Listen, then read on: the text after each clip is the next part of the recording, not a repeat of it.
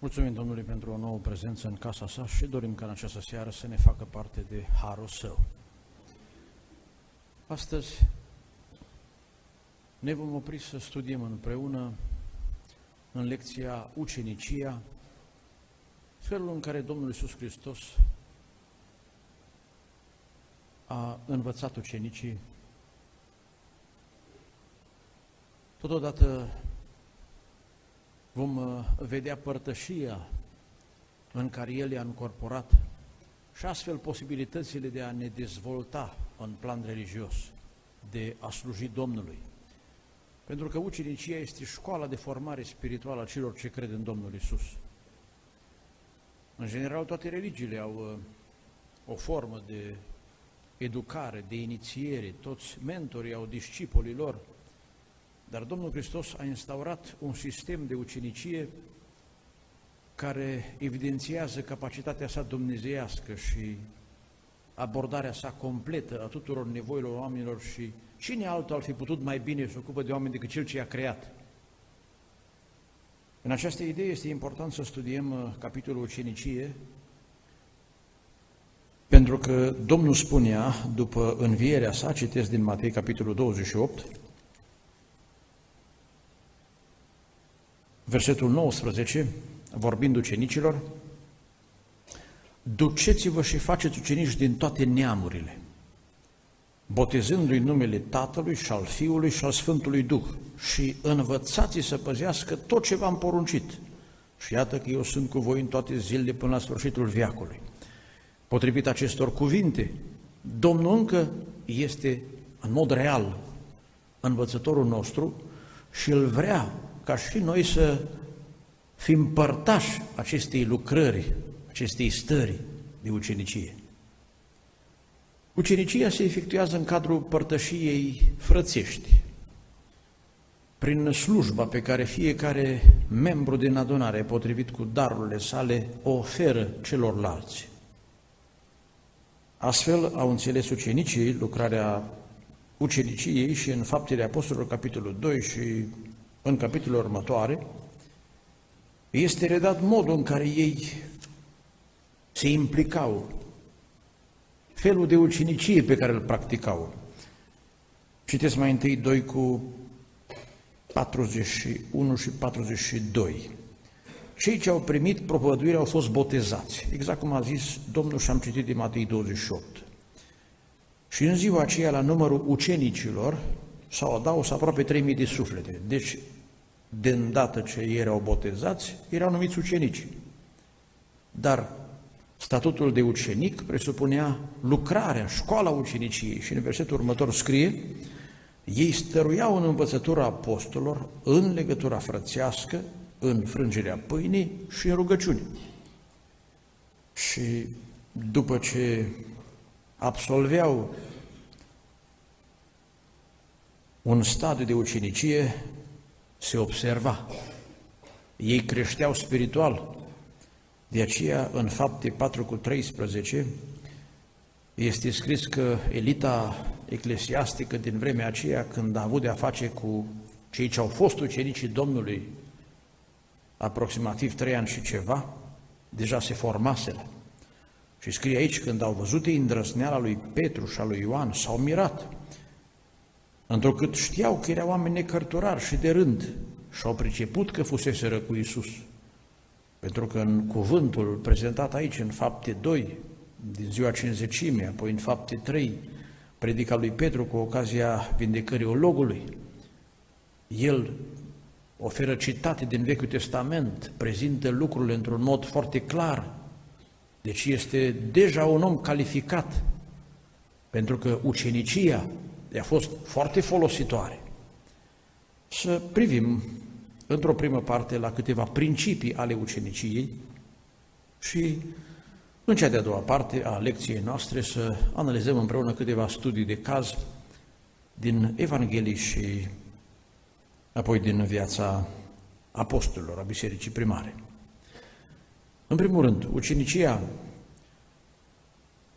cere o ascultare, o renunțare totală la modul de viață privat și lumesc.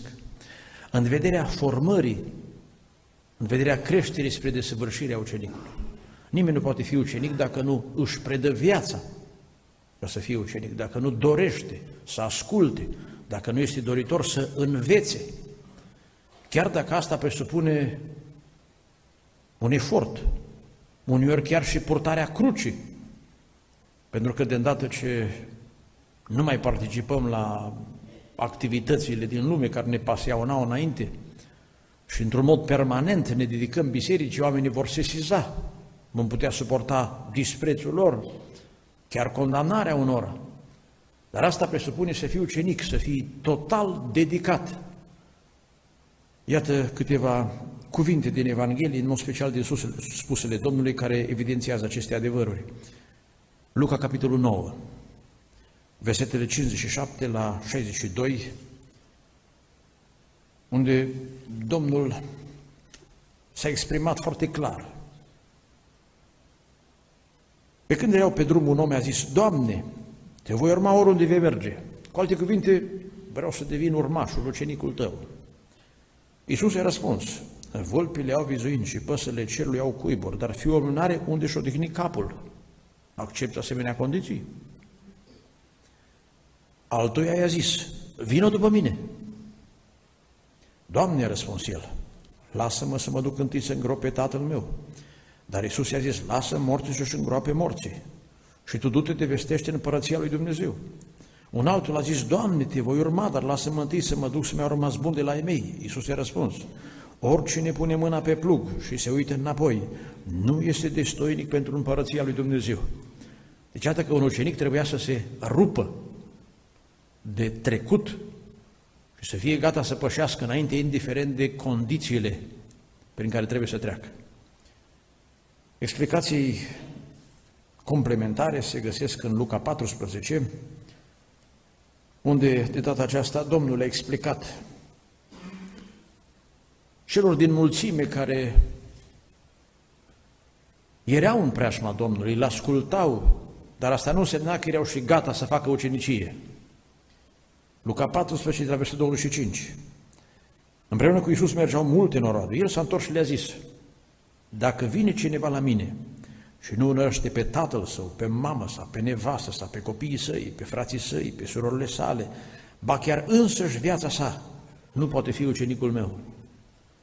Deci iată câtă desprindere, câtă subordonare față de Domnul Hristos trebuie să aibă cel ce vrea să fie cu adevărat ucenic.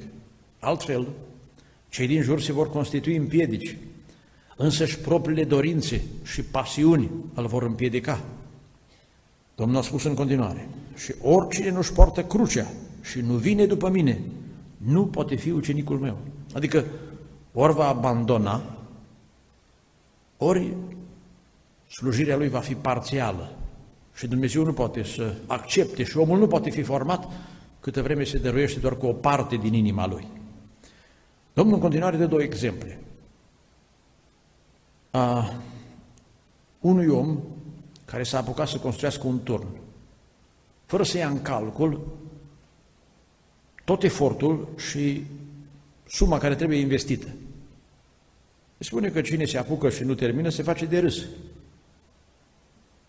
Deci a fi ucenicul Domnului înseamnă să te apuci de o lucrare care nu este ușoară, dar este frumoasă, este puternică și la terminare dă o satisfacție extraordinară. Un al doilea exemplu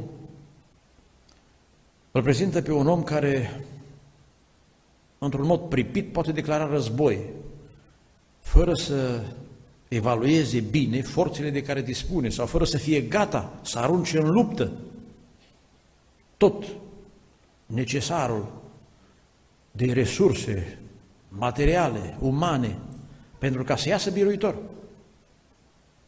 Ucenicia, am putea spune, vizând aceste două exemple, este o muncă, dar este și o luptă. Și omul trebuie să fie gata să treacă peste toate, dacă vrea să câștige, dacă vrea să termine.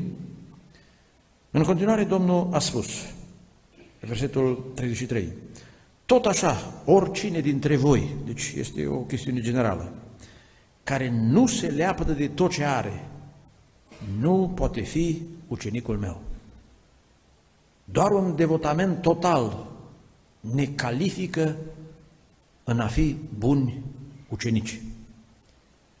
Drept dovadă că spusele Domnului erau adevărate, unii din cei ce până la o vreme au fost ucenici au abandonat. Astfel, în Evanghelia după Ioan, la capitolul 6, avem exemplu unora care n-au mai suportat condițiile uceniciei. Deși încă nu venise vreo prigoană. Citim versetele 60 la 66.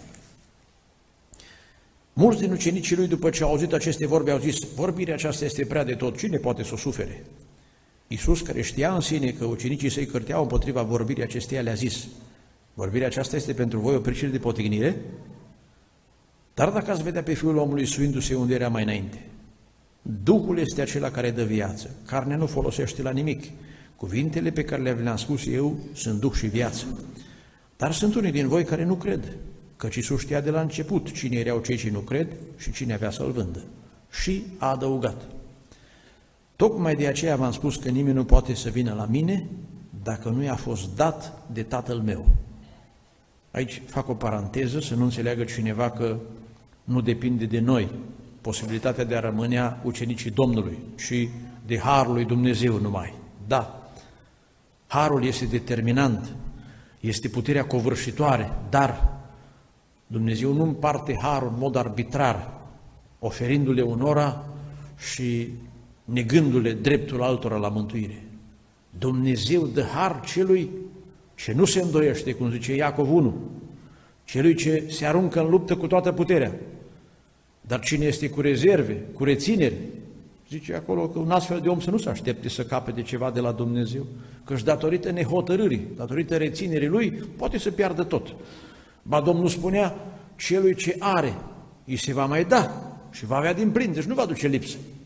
Dar celui ce nu are, și aici aș putea completa toată hotărârea, celui ce nu-și pune toată inima pentru această lucrare, îi se va lua și ce are și va pierde și nu va rămâne până la sfârșit.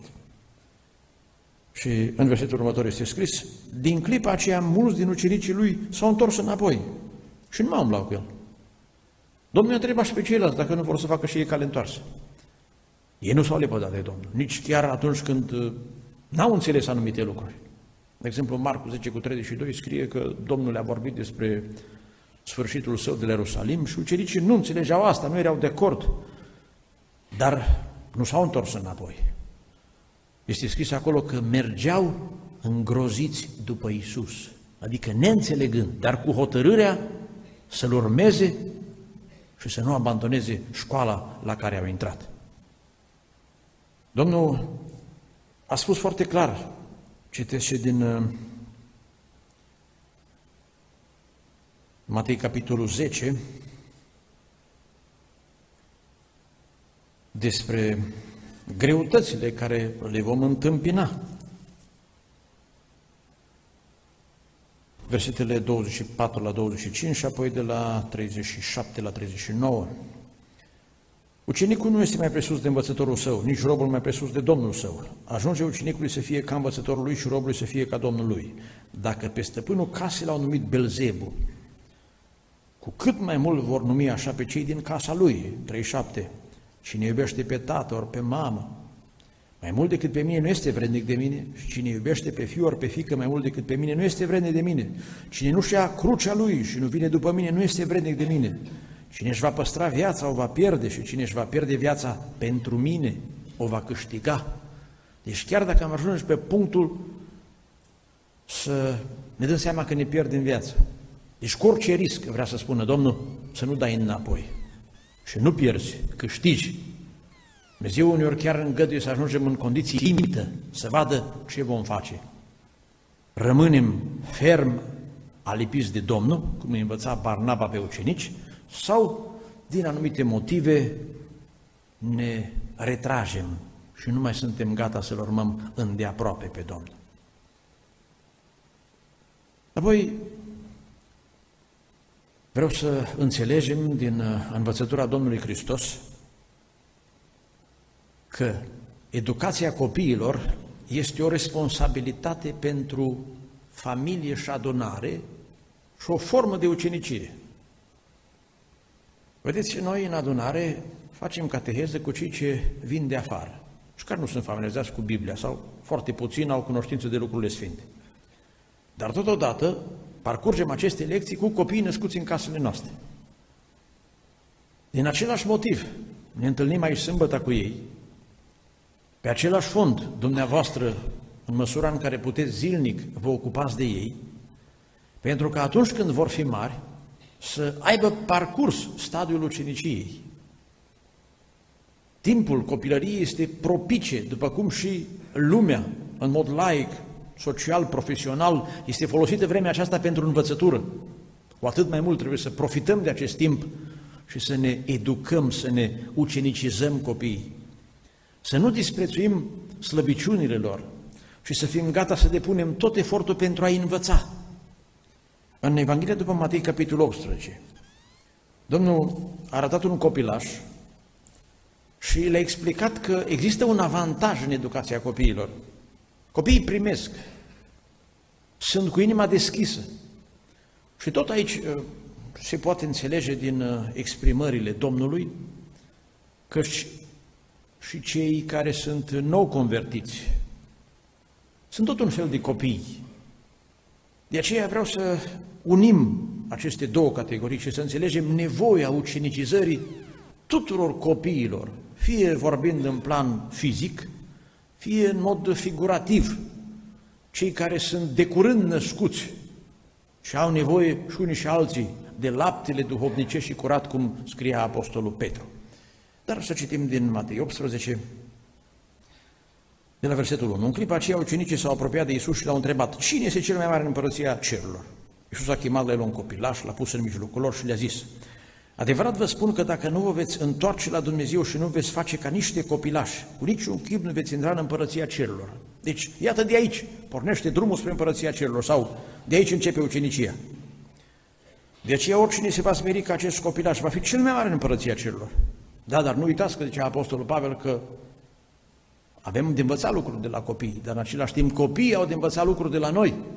La răutate să fim copii, dar la minte să fim oameni mari. Și copiii să ajungă oameni mari, trebuie să ne ocupăm de ei.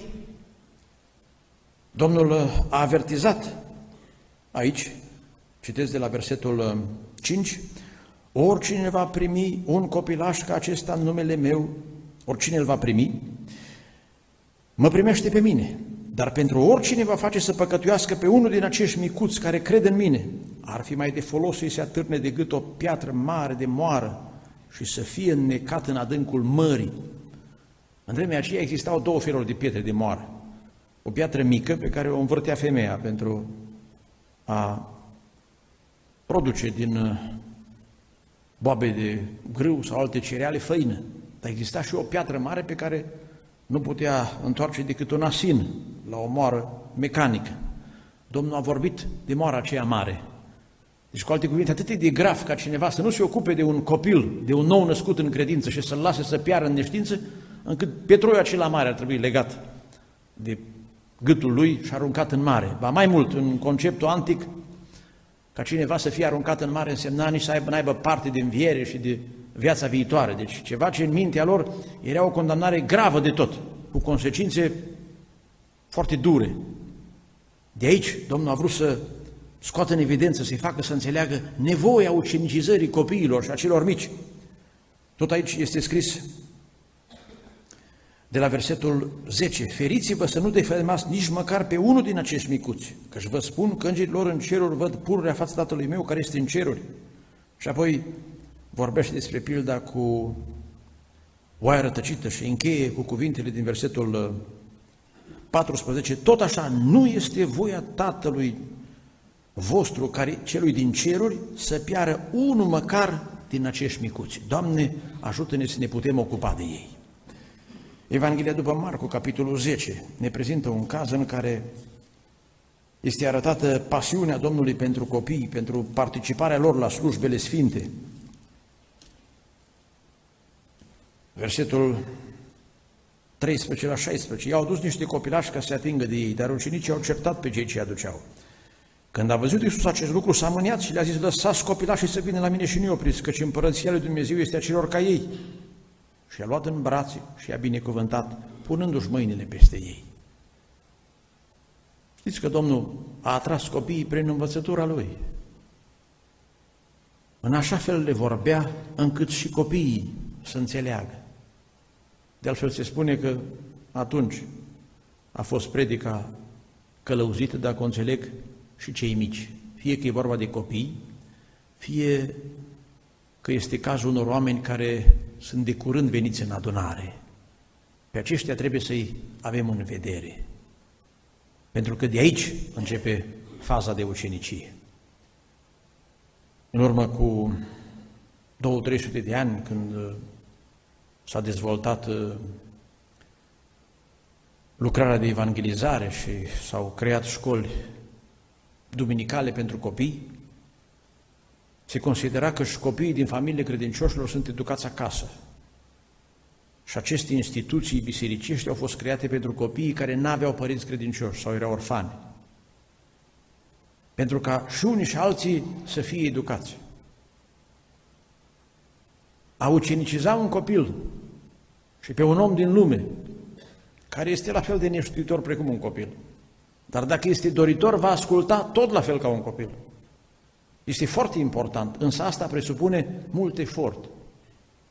Este ca și în cazul acela în care un copil s-a rătăcit și un om aparent binevoitor l-a întrebat și după ce și-a dat seama unde locuiește, i-a spus băiatului că nu stă chiar departe, are de făcut doar un drum de vreo jumătate de oră, două străzi la dreapta, una la stânga, apoi înainte, iar la dreapta, iar la stânga.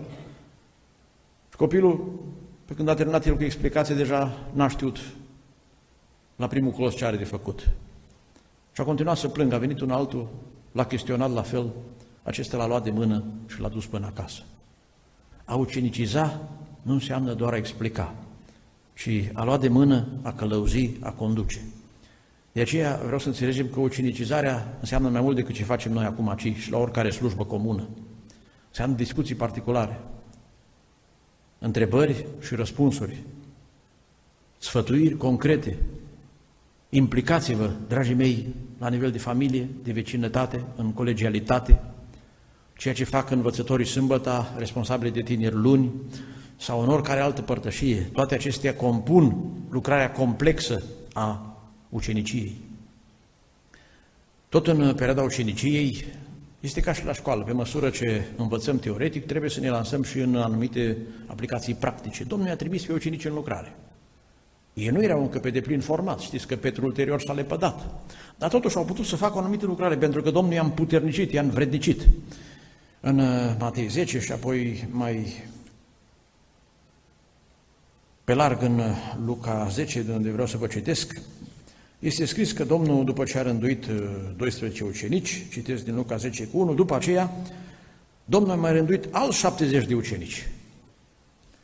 Și i-a trimis doi câte doi înaintea lui în toate cetățile și în toate locurile pe unde avea să treacă el. Cu alte cuvinte, precum un maestru pune ucenicii să lucreze, dar uh, nu poate să dea direct în uh, piață sau să vândă produsele pe care ei le fac, pentru că el trebuie să încă să le cerceteze, nu sunt finalizate. Domnul i-a trimis, dar în urma lor mergea el, cu alte cuvinte, să completeze, să corecteze dacă era cazul. Ei au intrat în această slujire, Domnul le-a spus ce autoritate au, versetul 16, Cine vă ascultă pe voi, pe mine mă ascultă, cine vă nesocotește pe voi, pe mine mă nesocotește. Și la rândul meu, eu sunt trimisul Tatălui. Cei 70 s-au întors plini de bucurie și au zis, Doamne, chiar și demonii ne sunt supuși în numele Tău. Domnul le spune în versetul 20, nu vă bucurați de faptul că duhurile vă sunt supuse, ci bucurați-vă că numele voastre sunt scrise în ceruri. Domnul s-a bucurat în Duhul, a lăudat pe Tatăl și apoi le-a zis, versetul 23 și 24, Fericiți de ochii voștri care văd lucrurile pe care le vedeți voi, Căci vă spun că mulți proroși și împărați au voit să vadă ce vedeți voi și n-au văzut, să audă ce au zis voi și n-au auzit. Într-adevăr, aveau haruri mari, dar mai presus de toate era harul mântuirii. Deci iată cum uh, slujirea poate să umplă de bucurie, să motiveze ucenicii. Am văzut asta și în viața copiilor, aici când vin să slujească, n-au ei mare calificare, dar se bucură să facă o lucrare pentru Domnul. Am văzut în viața celor care sunt la începutul carierei de predicare, de profeție, de cântare, se duc cu bucurie în misiune, în alte biserici și pe parcurs ne formăm. N-ar fi deloc uh, potrivit să încercăm să stocăm în noi informații și până la 40 de ani să nu ne mișcăm să facem vreo lucrare la gândul că încă nu suntem calificați. Ba mai mult am auzit pe unii care nici măcar nu vor să se boteze până când vor cunoaște ei destulă Biblie. Domnul a spus botezați și învățați. Deci oamenii pot să fie botezați, învățătura, ucenicizarea continuă, pot deja să meargă în slujire după capacitatea lor, ucenicizarea continuă și toate astea merg în paralel. Tot în paralel merge și viața noastră cotidiană. Pentru că nu toți sunt nefamiliști ca și Pavel și fără casă precum Domnul Isus. Unii avem chemarea să fim familiști, ba chiar când au fost chemați la mântuire, unii erau deja cu familii. Și evident că ei nu pot să fie prinși zi și noapte în lucrarea Domnului. De aceea Domnul a învățat cum să se facă o slujire în paralel. Vreau să vă citesc din Ioan capitolul 1 pentru a vedea că și ucenicii care au ajuns să fie total dedicați lucrării, la început și-au desfășurat activitatea lor în timp ce erau ucenicii lui Ioan și apoi chiar ucenicii ai Domnului. Scrie în capitolul 1 de la versetul 37, um, cei doi ucenici l-au auzit rostind aceste vorbe și au mers după Isus. Isus a întors și când i-a văzut că merg după el, le-a zis, ce căutați? I-a răspuns, rabi, care tălmăcit însemnează învățătorul, unde locuiești? Deci încă Domnul era acasă, nu plecase în misiunea prin Iudeea, Galileea și alte zone. Veniți de vedeți, de zis el. S-au dus și au văzut unde locuia și în ziua aceea au rămas la el. Era cam pe la ceasul al zecelea. Deci au petrecut un timp de la ora 4 și toată seara. Nu toți din ucenicii Domnului puteau să stea zile în șir, dar cel puțin câteva ore fiecare trebuia să-și lase din lucrul lui și să se pună la îndemâna Domnului, să asculte să aibă părtășie cu ceilalți. Un caz concret este al Martei și Maria, despre care vă citesc din Luca 10, ca să știe și surorile cum pot să fie ucenici. Sau după cum spune textul din fapte, Tabita era o uceniță. Citeste la versetul 38, pe când era pe drum cu ucenicii săi, Iisus a intrat într-un sat și o femeie numită Marta L-a primit în casa ei. Ea avea o soră numită Maria, care s-a așezat jos la picioarele Domnului și asculta cuvintele lui. Marta era împărțită cu multă slujire, a venit repede la el și a zis, Doamne, nu-ți pasă că sora mea m-a lăsat să slujesc singură, zi, dar să-mi ajute.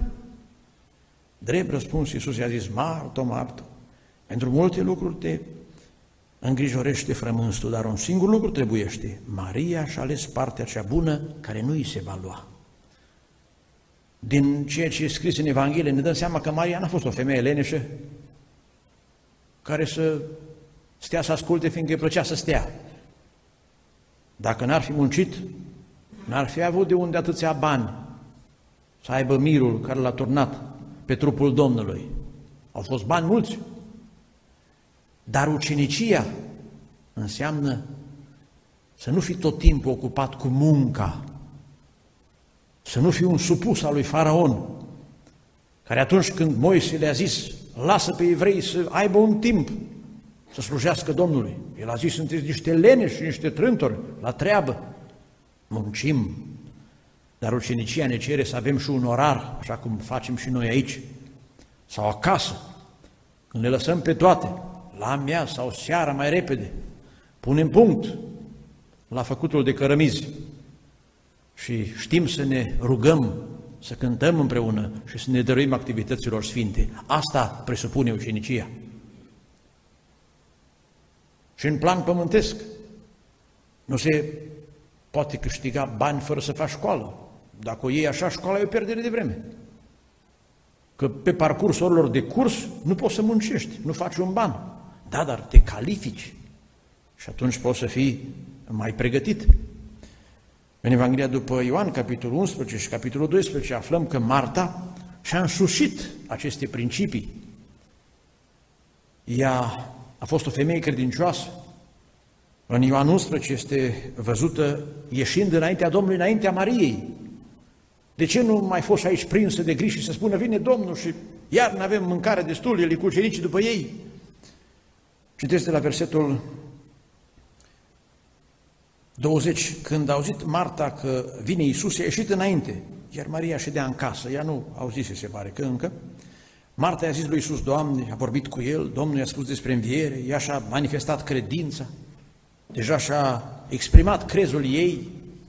Apoi, în capitolul următor, în capitolul 12, ea este văzută din nou, slujind, pentru că Domnul și unicii aveau nevoie să fie serviți la masă. Versetul 2, acolo i-au pregătit o cină, Marta slujea, iar Lazar era unul din cei ce ședeau la masă cu el. Din nou, Maria a fost atrasă puternic de cuvintele Domnului. De aceea cred că Domnul le-a iubit pe amândouă și pe Lazar, cum scrie aici în capitolul 11. Nu de la început, nu sunt toți oamenii la fel, dar amândouă și-au dat seama că a sluji Domnului înseamnă a munci, a nu-ți abandona îndatoririle familiale, dar a lăsat timp suficient pentru ascultarea Evangheliei, pentru rugăciune și pentru părtășie sfântă. Doamne, ajută-ne să le putem împleti, să știm când este timp pentru casa noastră și când pentru adunare. Mă amintesc că undeva, într-o adunare, cineva a avut o vedenie pentru mine, un sul de carte ca cele din vechime, ca o hartă, zbura în văzduh, se apropia de mine și când l-am prins, m-am uitat la el, era un orar al timpului, împărțit în trei. O parte pe care trebuia să o dedic familiei, o parte adunării locale și o parte misiunii. Și mi se spunea să fiu foarte atent ca să recepționez bine orarul în călăuzirea Duhului. Toate trebuie făcute. Cine nu grijește de-a lui, e mai rău decât un necredincios. Dar cine nu îngrijește de suflet, nu se mântuiește nici pe el, nici pe a lui. Să ne ajute Domnul să fim înțelepți. În ultimul rând, legat de principiile uceniciei, vreau să vă sesizez asupra unui aspect mai neplăcut, să zicem. Pentru că suntem încă copii, e necesar să ne iertăm și cu dragoste să ne slujim unii altora. Domnul i-a adunat pe ucenici și luându-l Nighian le-a spălat picioarele. Și scrie în Ioan 13 că le-a recomandat să facă și ei așa. Pentru ca, în conformitate cu ce a învățat el și altă dată, vă citesc din uh, Marcu, capitolul 9, nimeni să nu dorească să fie el lider și să fie slujit și fiecare să fie gata să slujească. Iată cuvintele Domnului, citesc așadar de la versetul 33. Apoi au venit la Capernaum, când era în casă, Iisus i-a întrebat, despre ce vorbeați unul cu altul pe drum? Dar ei tăceau pentru că pe drum se certasele care între ei să fie, să știe că este cel mai mare. Atunci Iisus a șezut jos, a chemat pe cei 12 și le-a zis, dacă vrea cineva să fie cel din tâi, trebuie să fie cel mai de pe urmă din toți și slujitorul tuturor. Apoi, în uh, pilda din Matei, capitolul 18, Domnul a învățat principiul iertării. Am întâlnit adesea frați care, după un an, doi de pocăință, sunt dezamăgiți Dar dacă vor fi sinceri, trebuie să recunoască dezamăgirea despre ei înșiși și despre alții. Unii cred că de îndată ce se pocăiesc, vor deveni sfinți și vor avea o viață ireproșabilă. Și totodată se așteaptă ca și ceilalți de biserică să fie deja desăvârșiți. Ori biserica aceea o vom întâlni numai la Ierusalimul de sus, nu pe pământ. Noi greșim în multe feluri, mai cu seamă în vorbire. Trebuie să ne iertăm, să ne acceptăm, gândindu-ne că și Domnul ne-a acceptat. Cel mai mult a avut de acceptat și de răbdat Domnul de la ei, dar le-a cerut și ei să se îngăduie unul pe altul. Domnul a iertat pe Petru, l-a lăsat să slujească în continuare. De atâtea ori le explica și nu pricepeau și le spunea, iarăși trebuie să vă explic. Și cu dragoste i-a învățat, cum zice și apostolul, ca o doi ce își crește cu drag copiii. Aici zice de la versetul 21, Petru, Doamne, de câte ori să pe fratele meu când va păgădui împotriva mea? Aveți probleme la școala uceniciei să iertați? Până la șapte ori? Dacă faci matematică, într-un an de zile, trebuie să schimbi de două ori biserica. Iisus i-a zis, eu nu zic până la șapte ore, ci până la șaptezeci de ori câte șapte. Le explică în pilda robului nemilostiv ce greșeală este după ce ai fost iertat să nu ierți pe fratele tău. Și zice în final, versetul 20, 35, tot așa vă va face și Tatăl meu cel ceresc, dacă fiecare din voi nu iartă din toată inima pe fratele său. De aceea, dacă vreți să fiți nu numai ucenici, învățători cu vremea, frați mai mari care să vă ajutați frații mai mici, dați dovadă de iertare și de slujire. Într-un caz a unui frate ce vroia să se implice ca misionar într-o zonă dificilă, un uh, slujitor mai bătrân i-a dat un test și pe de o parte părea simplu, dar pe de altă parte foarte greu de luat. L-a chemat într-o dimineață la ora 8 să îl examineze, să aibă loc un interviu. Așa s-a gândit el, dar ca să îi dea o probă suficient de grea, i-a cerut uh, candidatului să vină la ora 3 dimineața. Bătrânul s-a dus numai la ora 8 la birou, nu și-a cerut scuze, poftește pentru examinare și a pus două întrebări, aparent banale. Spune-mi, te rog, cât e 2 ori 2? Omul a răspuns cu simplitate, 4. Atunci te rog să spui un cuvânt care să fie scris și în Biblie, dar să-l spui pe silabe. Și l-a spus ceva de genul Evanghelia. Bun, ai trecut testul. Să vin data cu tare pentru a fi trimis în acea zonă de slujire. Vin și alți colaboratori al slujitorului bătrân și îl întreabă, ai terminat cu el? Cum l-a examinat? Scris, oral, teologic, ce cunoștințe are, ce experiență, ce capacitate? Și l-a zis, am terminat repede. I-am dat probă de ascultare, de smerenie și să văd dacă poate să-i suporte pe alții și să slujească fără să bage de vină. Prin ceea ce a făcut mi-a dat dovadă că nu mi-a reproșat, nu s-a socotit jignit, cum îl întreb asemenea lucruri. Da, uneori ne jignește cineva dacă ne întreabă lucruri banale. Dar ucenicia asta înseamnă să asculți. Undeva la o mănăstire s-a prezentat un om care vrea să rămână acolo și i-a dat o probă. Era primăvară să planteze câteva fire de răsat de varză cu rădăcina în sus. El s-a gândit, ăștia vor să mă testeze dacă sunt tot la cap. S-a dus și le-a pus frumos cu rădăcina în jos, îngropându-le în sol cât este necesar, doar venea de la țară. S-a dus tare stele și când a văzut a zis, nu te putem primi. De ce? Tu nu ești gata să asculți și ce nu înțelegi. Noi ți-am dat o probă de supunere. Tu ne-ai dat un examen de agricultor. Du-te, caută-ți o fermă. Deci, în fața lui Dumnezeu trebuie să fim gata să facem și ce nu înțelegem. Știți ce a zis Petru când a fost vorba despre la picioarelor? Doamne, dacă așa stau lucrurile, atunci și mâinile și capul. Dar după mintea lui a zis, Doamne, Tu să speli mie picioarele? Păi ce fac eu, Tu nu pricepi. Mă întreb, copiii noștri pricep tot ceea ce le spunem noi? Dar noi, în raport cu Dumnezeu, nu suntem mai copii de așa.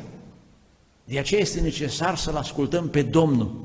Și chiar dacă mergem îngroziți după El, să-L urmăm, Doamne, ajută-ne! Domnul a format ucenicii în părtășiile ce le-a avut cu ei.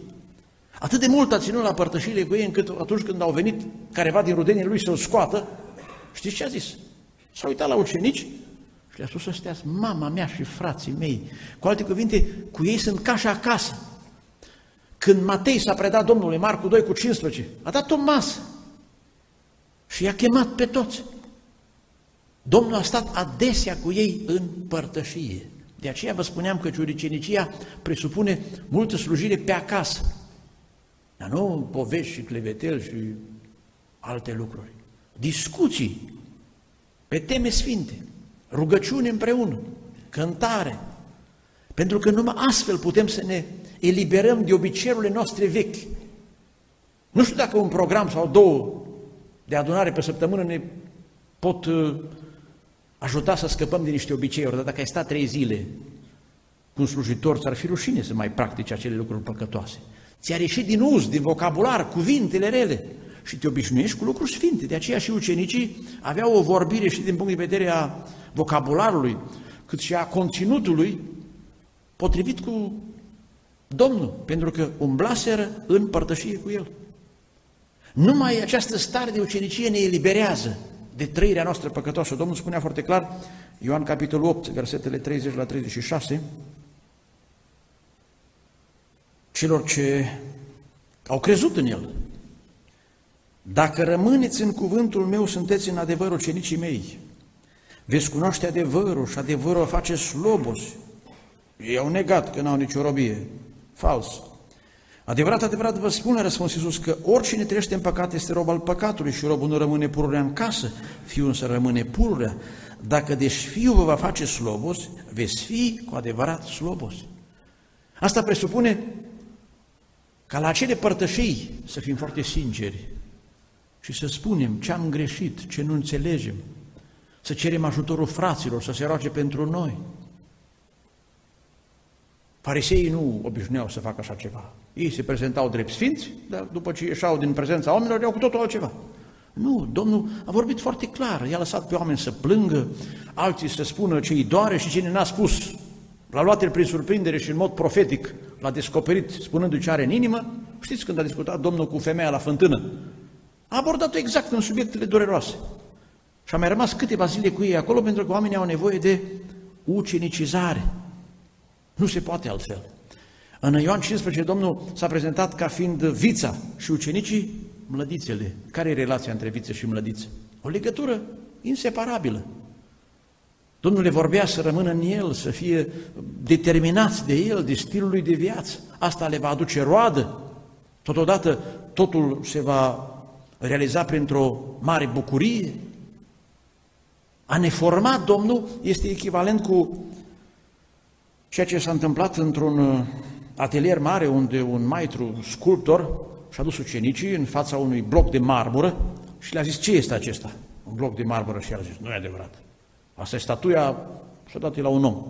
Cum? Unde e statuia? Aici? Mai noi trebuie să dăm jos de pe ea tot ce, ține, tot ce nu ține de statuie. Aici e statuia.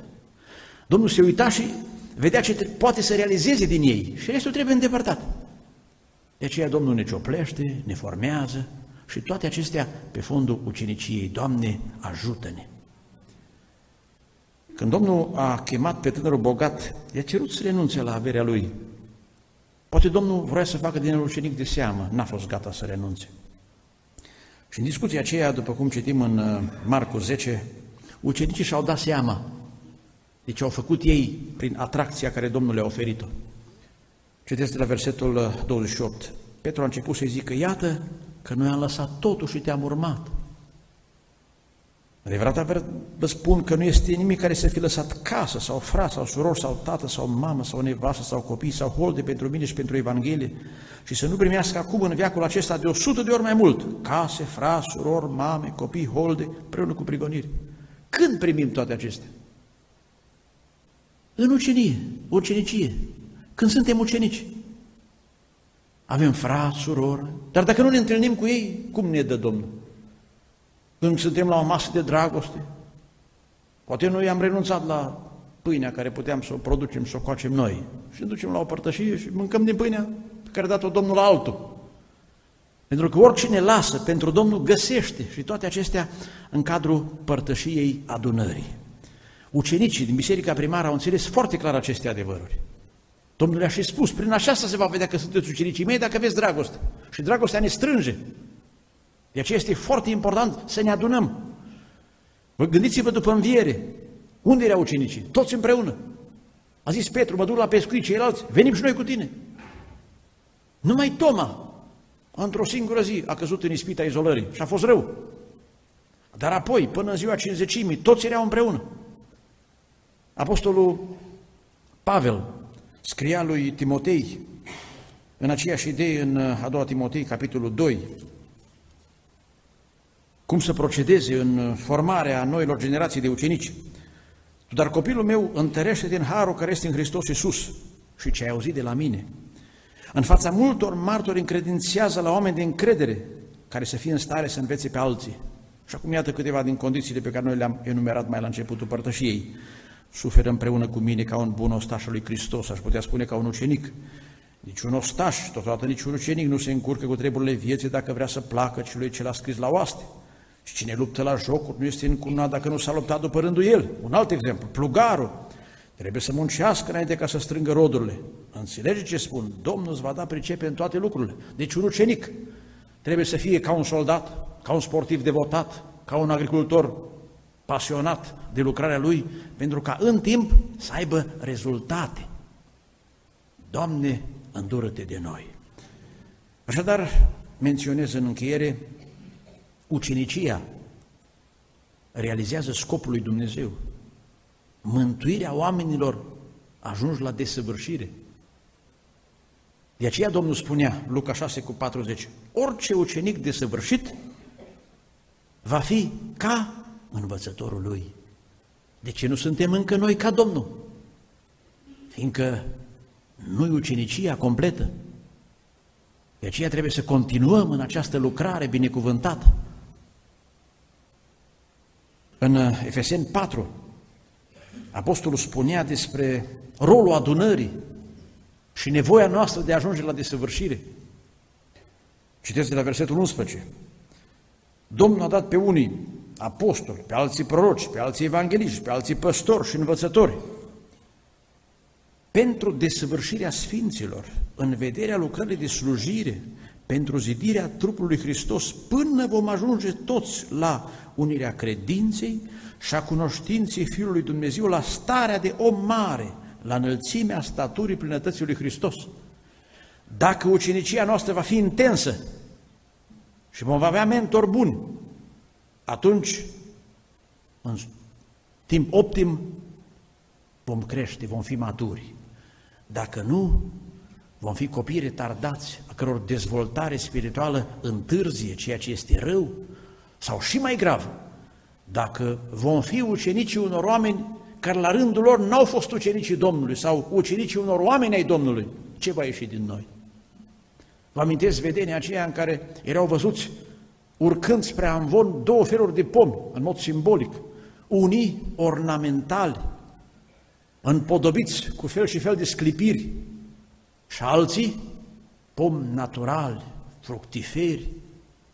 Cei din tâi erau foarte străucitori, dar se punea problema, roadele lor vor putea să facă alți pomi? Tot numai dacă cineva îi împodobește. Dar dacă e vorba de pom fructiferi sănătoși, aceștia pot să fie afectați. Vorba aceea, când într-un măr sunt viermi, înseamnă că nu cu chimicale. Doar dacă e unul de plastic, mai cu seamă, nici muștile nu stau pe el, nici albinele. N-are nimeni treabă cu ei. Deci este un efort, este o luptă, trăim prin toate aceste probleme ale vieții. Întâmpinăm greșeli, ca Petru, ca ceilalți. Da, dar dacă vom continua procesul uceniciei, Domnul are putere să ne desăvârșească. De aceea să rugăm pe Domnul să ridice învățători sănătoși și ucenici devotați. Și spun asta în ultimul rând, ca ucenici ai Domnului. Trebuie să acceptăm unele pierderi aici. dar vom avea câștig și răsplătire dincolo în împărăția lui Dumnezeu. Închei cu cuvintele din Ioan 12, versetele 24 la 26. Noi nu ne formăm pentru lumea aceasta. Domnul a spus foarte clar și scopul a fost declarat deschis. Adevărat, adevărat vă spun că dacă greuntele de greu care a căzut pe pământ nu moare, rămâne singur. Dar dacă moare, este procesul ucenicii, aduce multă roadă.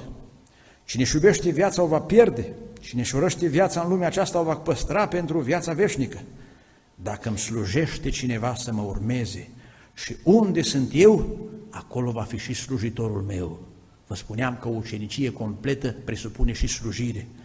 Dacă îmi slujește cineva, Tatăl îl va cinsti. Asta mi-aș dori. Chiar zilele astea m-am gândit, m-aș bucura și fiecare dintre dumneavoastră la rândul lui, ca munca noastră aici, învățătura, cântarea, prorocia, să fie răsplătite cu mântuirea oamenilor. Dacă dumneavoastră nu veți fi mântuiți, toată slujba mea de aici nu se alege cu nicio răsplată. De aceea eu sunt interesat, pe lângă cuvintele care vi le spun, să mă și rog. Și fiecare la rândul lui. Ca slujirea mea să se sfârșească cu desăvârșirea mea și mântuirea și desăvârșirea dumneavoastră. Dar la noi nu este un preot și ceilalți enoriași. Noi nu credem în existența clericilor și alaicilor. Noi suntem toți preoți ai Dumnezeului celui viu. Fiecare este în formare și fiecare trebuie să fie în slujire. Și acum, fiindcă v-am spus că ucenicia nu presupune numai slujba din adunare, vă rog, dragii mei, fiecare acasă, cu cei dragi, cu cei din jurul lui, faceți ucenicie. Și Domnul să se ocupe de noi toți. El să ne rămână marele învățător. Numai că El trebuie să ajungem. El e desăvârșit și așa ne vrea Dumnezeu Tatăl și pe noi, pentru că El să fie cel întâi născut între mai mulți frați. Slăvit să fie Domnul. Amin.